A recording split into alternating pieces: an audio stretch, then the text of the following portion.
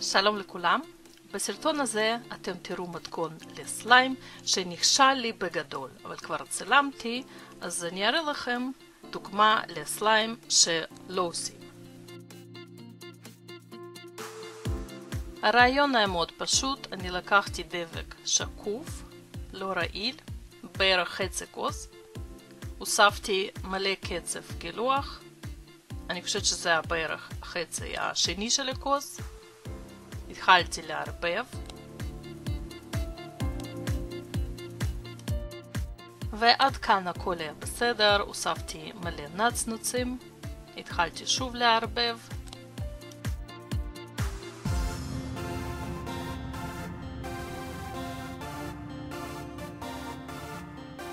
והרעיון היה לבדוק אם התמיסה לעדשות מגע יכולה לעבוד עם הסליים הזה. אז הוספתי קצת מהנוזלים האלה, ערבבתי, זה נראה בסדר אפילו, ואז הוספתי סודה.